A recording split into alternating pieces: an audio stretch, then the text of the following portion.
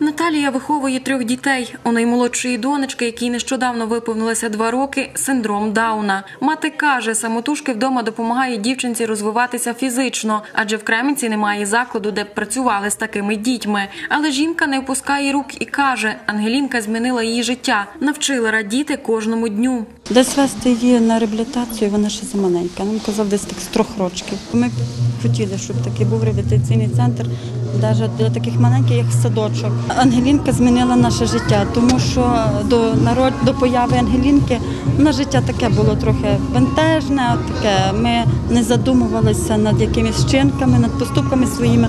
А з народженням Ангелінки, коли нам сказали її діагноз, наше життя змінилося в кращу сторону.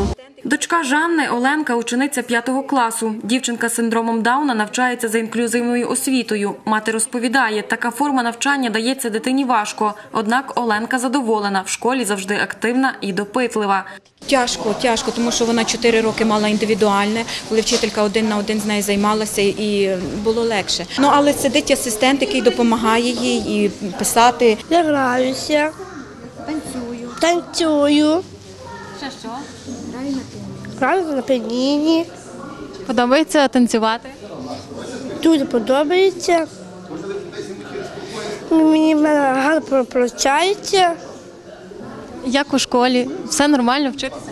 Да, дуже там дуже класно. На свято завітала і молодь. Хлопці і дівчата теж з особливими потребами. Вони поділилися з дітьми життєвим досвідом та розповіли, що людина з обмеженими фізичними можливостями може брати участь у міжнародних проектах, їздити на оздоровлення і, звичайно, навчатися. Проте кажуть, на Кременеччині існує проблема з безробіттям. Коли ти приїжджаєш в Польщу, ти не відчуваєш себе, що ти людина інвід, тобто ти особлива. Ти відчуваєш, що ти от нічим не відрізняєшся від людей. Тобто для людей і дітей інвалідів там все добре влаштовано. Різні розважальні центри, різні програми для оздоровлення. Кремниці в нас немає, бо немає більшість розвинутих місць для інвалідів, десь кудись піти, чи поїхати, чи десь е, вчитися, чи десь робити. Зараз у Кременці активно розвивається громадська організація батьків дітей-інвалідів та їх друзів Зоря надії. Небайдужі люди і батьки дітей з особливими потребами беруть участь у міжнародних проектах, співпрацюють з владою і шукають можливість створити реабілітаційний центр.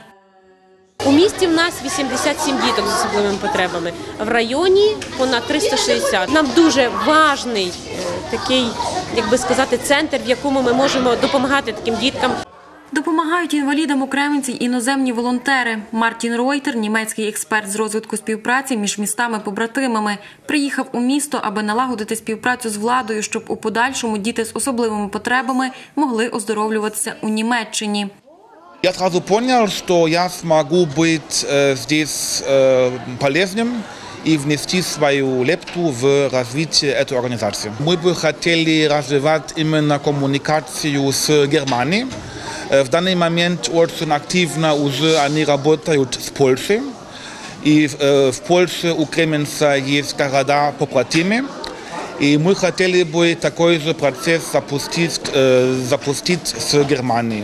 Під час заходу зібрали кошти для хлопчика з Кременця, якому потрібна пересадка нирок. Богдана Сарабун, Андрій Бодак, Вісті ТТБ.